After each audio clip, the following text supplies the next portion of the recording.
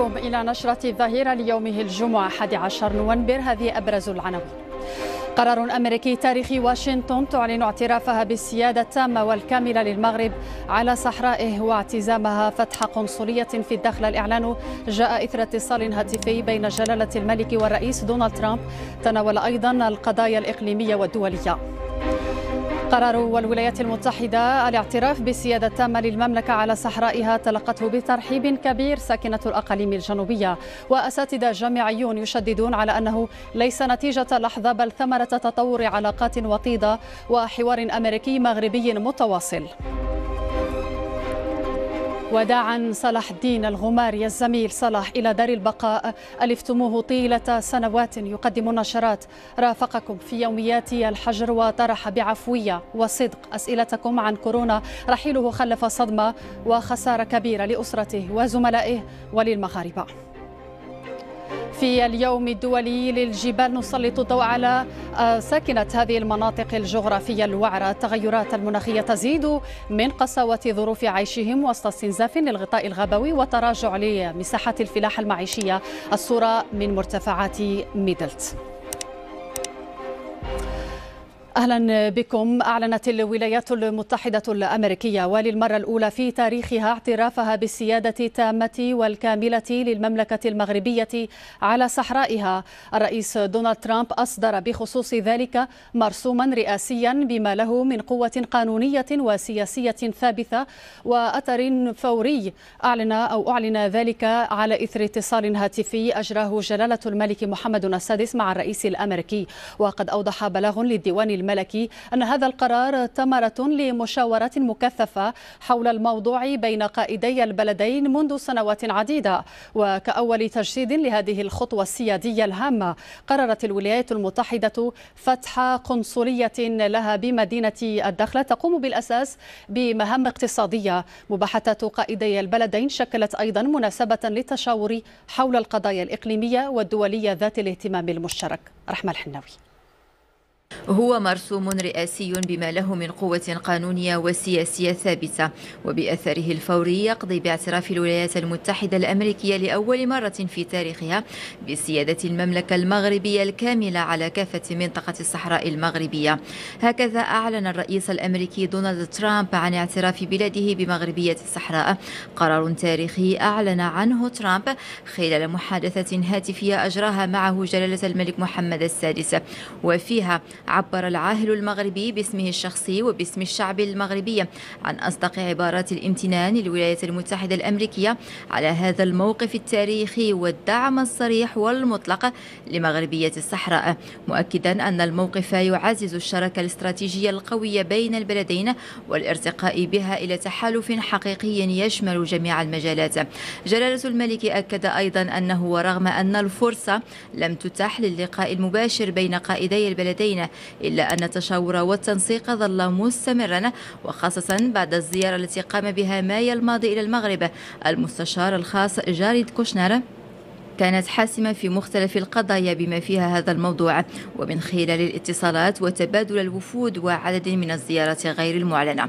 موقف بناء يضيف بلاغ الديوان الملكي جاء لتعزيز دينامية ترسيخ مغربية الصحراء التي أكدتها المواقف الداعمة لمجموعة من الدول الصديقة.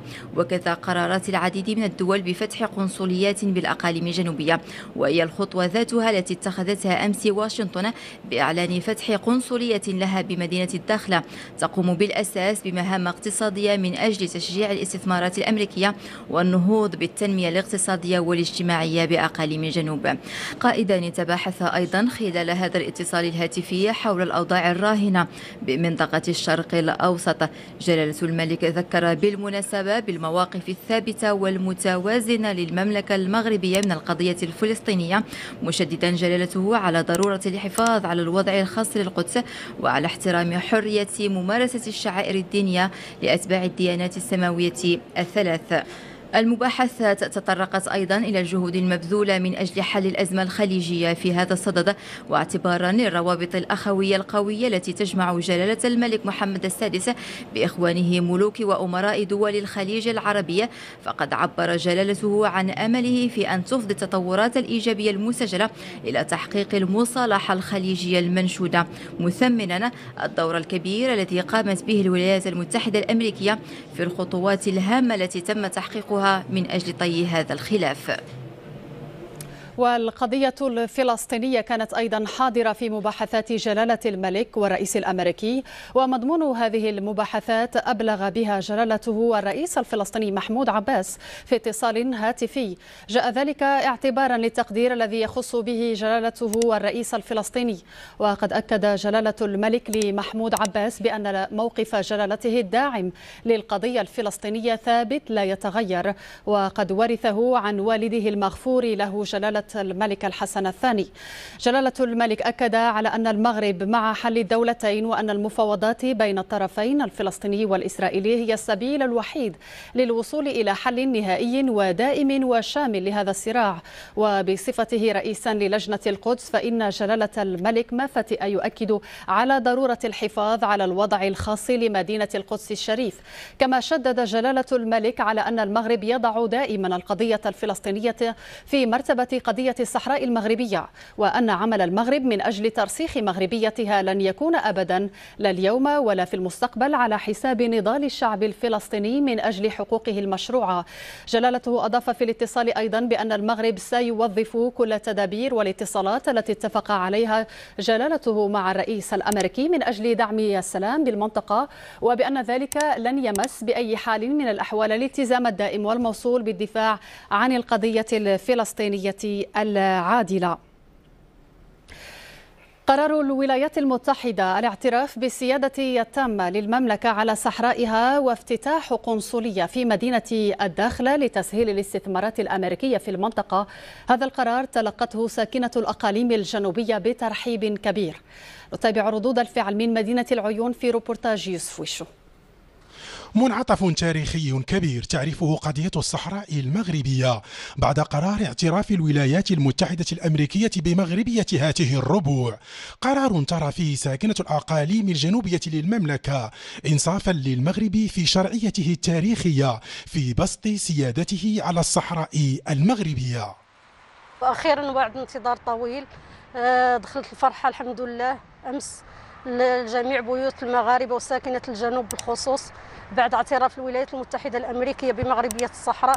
هذا هذا أكيد شرف لنا. الاعتراف الولايات المتحدة الأمريكية بسيادة سيادة المملكة المغربية على ترابها في الأقاليم الصحراوية. وهذا معترف به منذ زمن تاريخ التاريخ يعترف به منذ زمن طويل آه، والحمد لله. وهذا غادي يعطي واحد دينامية جديدة. تأكيد الولايات المتحدة الأمريكية على قوة ومصداقية مبادرة الحكم الذاتي في إنهاء هذا الصراع المفتعل. أمر ترى فيه الساكنة أيضا الحل الواقعي الذي يلقى الإجماع الكامل. مقترح الحكم الذاتي هو مقترح صائب وهو الحل الواقعي اللي يصلح أن إحنا كصحراويين إحنا كصحراويين بغينا هذا بغينا هذا المقترح ديال الحكم الذاتي هو اللي له يجمع شملنا جميعا وهو اللي له أنتم مشبتين به. هو ترحيب كبير بهذا القرار التاريخي لدولة عضو دائم بمجلس الأمن تأمل فيه الساكنة أن يكون إضافة جديدة لطي هذا المشكل المصطنع. ولتسليط مزيد من الضوء على القرار الأمريكي يحضر معنا ضيفا في الأستوديو الأستاذ عبد الفتاح بالعمشي أستاذ العلاقات الدولية بجامعه القاضي عياد بمراكش ورئيس المركز المغربي للدبلوماسية المغربية. سيد بالعمشي أهلا بك. اذا هي محطة تاريخية تعيشها القضية الوطنية اعتراف تاريخي من الولايات المتحدة بالسياده التامه للمغرب على صحرائه. كان قرارا واضحا لا لبس فيه فوري المفعول. لماذا هو بهذه الأهمية الكبيرة؟ اعتراف الولايات المتحدة بسيادة المملكة على صحرائها. بداية المرسوم الذي أصدره البيت الأبيض يوم أمس يعتبر موقفا تاريخيا لم يحصل بالنسبة للإدارة الأمريكية أن عبرت بوضوح عن موقف من قضية الصحراء المغربية كما حصل بالأمس. هناك أريد هنا أن أشير إلى نقطة أساسية فيما يتعلق بهذا الموقف هو إقرار بشرعية ومشروعية طرحنا الوطني في حل هذا النزاع. ولا أحبذ كثيرا مصطلح الاعتراف لما يحمله من دلالات قانونية بحيث أنه لسنا أمام دولة جديدة أو شيء من هذا القبيل. الولايات المتحدة الأمريكية كذلك هي لها صلة لصيقة بملف الصحراء. نعلم بأنه المندوبون الممثلون للأمم المتحدة في مجلس الأمن هم من يحضر دائما مسودة القرار التي تقدم إلى مجلس الأمن. أيضا دولة عظمى دولة عضو دائم في مجلس الأمن وبالتالي فأهمية هذا الموقف له ما بعده فيما يتعلق ليس فقط بقضية الصحراء ولكن كذلك بقضية بالعلاقات الثنائية بين المغرب والولايات المتحدة الأمريكية وكذلك بالأبعاد الجيوستراتيجية طيب في منطقة شمال إفريقيا. أستاذ عن العلاقات الثنائية قرار الولايات المتحدة أرفقته بخطوة ملموسة افتتاح قنصلية في مدينة الداخلة وهذه القنصلية مهمها اقتصادية وهذه الخطوة خطوة افتتاح القنصلية ليست معزولة ربما تدخل في دينامية في هذا الاتجاه. دول عديدة أخرى كانت افتتحت تمثيليات دبلوماسية لها في مدن الأقاليم الجنوبية في الدخلة وفي العيون. أقول بأنه منذ سنة 2016 حينما حضر جلالة الملك للقمة المغربية الخليجية وتحدث عن أبعاد جديدة وتحولات في السياسة الخارجية المغربية وإلى اليوم هناك مجهود كبير للدبلوماسية المغربية يترجم الآن مسائل قانونية بأثر قانوني فيما يتعلق بالقنصليات العامة ل 15 الدولة إفريقية ودولة الإمارات العربية المتحدة وهناك وعود بافتتاح قنصليات عامة جديدة. وبالتالي فهذا البعد القانوني بالإضافة إلى ترسيم الحدود البحرية للمغرب بالإضافة إلى موقعة القرقرات الشهيرة التي فرض المغرب فيها النظام في هذه المنطقة وسيادته الكاملة على ترابه تتوج اليوم بهذا القرار الأمريكي الذي يدخل ضمن أبعاد قانونية لاتفاقية العلاقات القنصلية سنة 1963 والتي تتحدث في المادة الرابعة على أن العمل القنصلي ليس هو فقط عمل إداري للتعامل مع رعايا الدولة في تلك المنطقة والدائرة القنصلية ولكنه يدخل في مهامه أيضا الأبعاد الاقتصادية والتجارية والعلمية والثقافية كذلك. طيب أستاذ بالمعشي مباحثات جلالة الملك محمد السادس مع الرئيس الأمريكي آه، أمس تناولت إلى جانب هذا الملف القضية الفلسطينية. ذكر جلالة الملك بأن المغرب ما فتئ يؤكد على أهمية إيجاد حل للقضية الفلسطينية وعلى مكانة هذه القضية لدى المغاربة فهي بمثابة القضية الوطنية لكل المغاربة ملكا وشعبا. بلاغ الدول الملكي تحدث بوضوح عن إجراءات واتصالات بمعنى نحن أمام مستوى معين في ربط الاتصال وهناك مبررات كذلك طرحها بلاغ الدول الملكي هي أن ملك المغرب له وضع خاص من الناحية التاريخية تجاه اليهود الذين كانوا في المغرب أولا وتجاه آلاف من الجاليات الموجودة اليوم في آه، في في التراب في فلسطين المحتلة.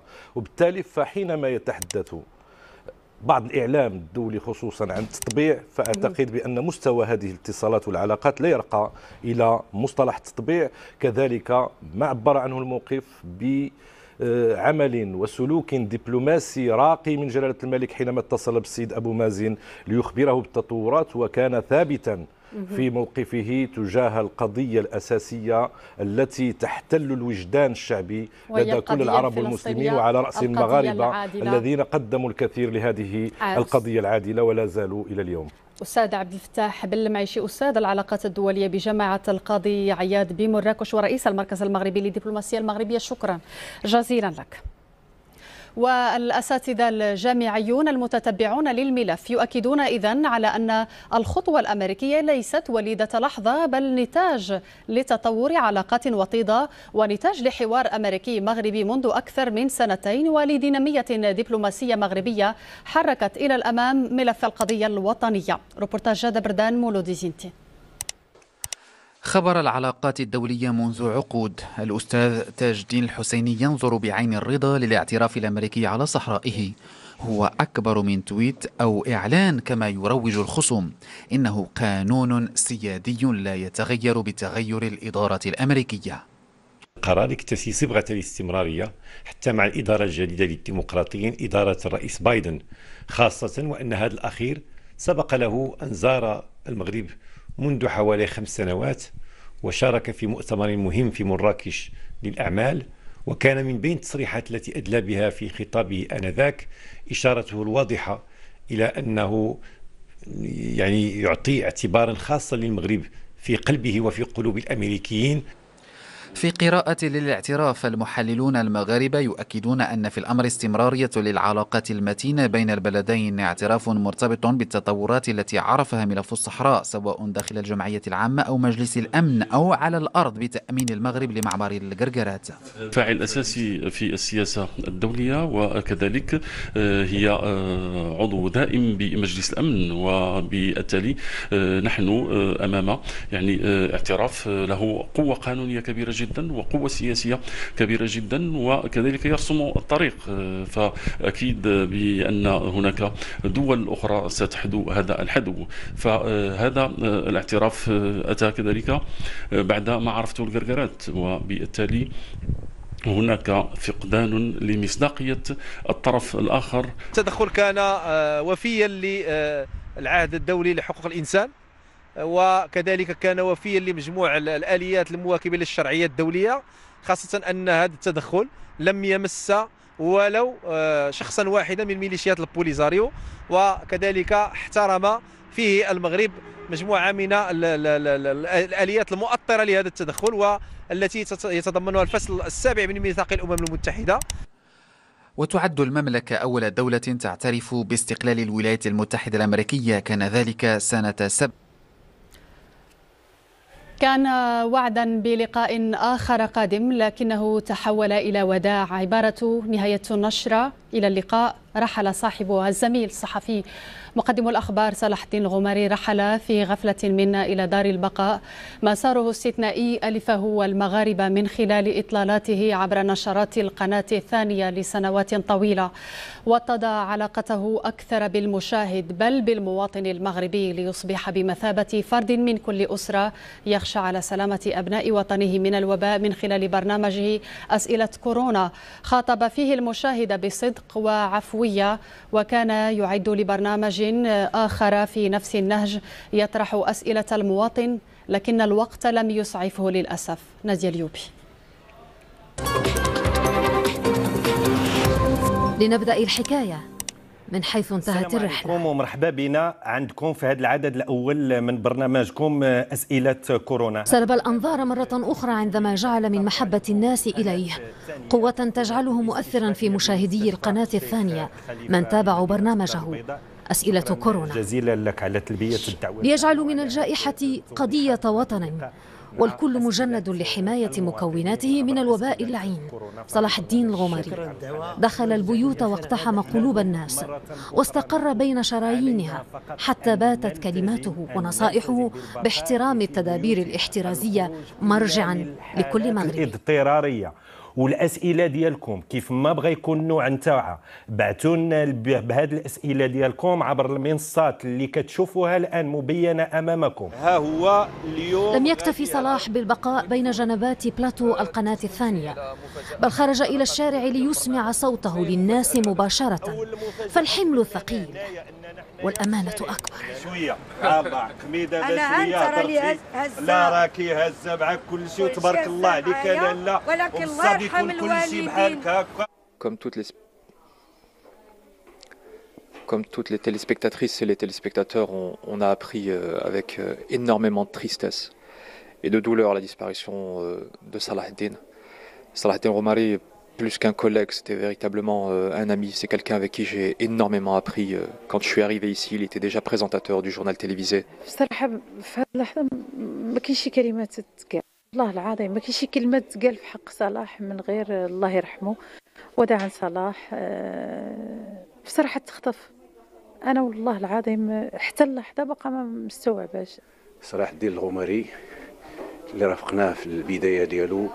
وكان من أعز الأقرباء وأعز الأصدقاء. آه، في هذه المناسبة الأليمة كنتمناو ونطلبوا الله العلي القدير المغفرة والرحمة ليه ولذويه الصبر وإن لله وإن إليه راجعون. صلاح الدين الغمري ترك بصمة قوية في نفوس المشاهدين فمنذ التحاقه بالقناة الثانية سنة 2000 جعل الرسالة الإعلامية همه الكبير. نقل بالصوت والصورة. أوجاع الوطن وأفراحه.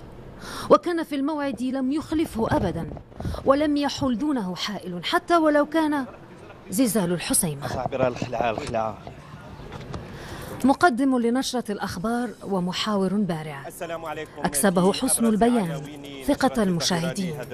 وأكسبته فصاحة اللسان محبة ضيوف نشرته. وانتي مسلية. روفيا الغزال فاطمة. فكان ضيف الأحد الموعد الذي يميط اللثام عن شخص حسه رقيق وإعلامي يأخذك دون ما شعور إلى عوالمه الجميلة. تصل حد أسرك داخلها. والمسائية لهذا اليوم تقدمها لكم زهرة أيتي حل. نهاية النشرة إلى اللقاء. نهاية النشرة الوداع صلاح. إنها اللحظة التي انطوت وطوتنا جميعا وألقت بنا جميعا في حزن عميق. ففي لحظة من ذهول تام تتوقف لغة الكلام. فالمعاني البكر التي لم تنحث لها ألفاظ بعد هي التي سترثيك. فإلى دار البقاء رحلت. ومن دار الفناء نستودعك الله الذي لا تضيع ودائعه. ونتابع في هذه الصور اللحظة خروج لحظة خروج ستماني الفقيد صلاح الدين الغماري من مستودعي الأموات بمستشفى مولاي عبد الله في المحمدية في اتجاه مدينة مكناس مسقط رأسه حيث سيوارى الثرى.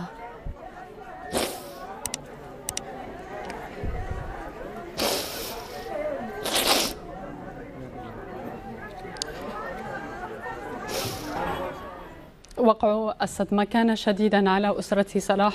أسرته هنا في القناة الثانية. باسم زملاء جميعهم تعازينا الحارة لأسرة صلاح الدين الغماري لوالدته لابنه ولكل المغاربة. إن لله وإنا إليه راجعون.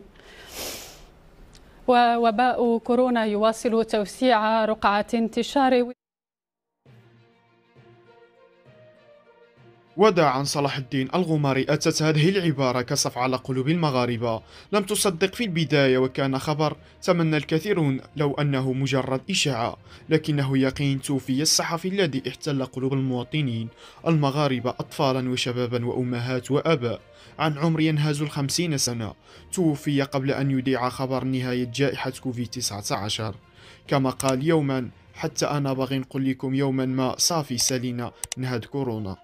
وكأنه ذهب ليترك لنا رسالة صارمة. احترموا التدابير الاحترازية. خلى حتى تدوز الجائحة كانت عبارة أشهر التي قالها الصحفي الراحل صلاح الدين الغماري وردد عنه المواطنون أكثر من مرة.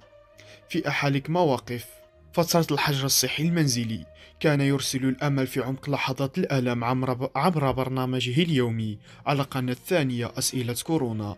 ورحل قبل أن يبيث برنامجه الجديد صوتك الذي اعتكف قبل أيام ليضع عليه اللمسات الأخيرة.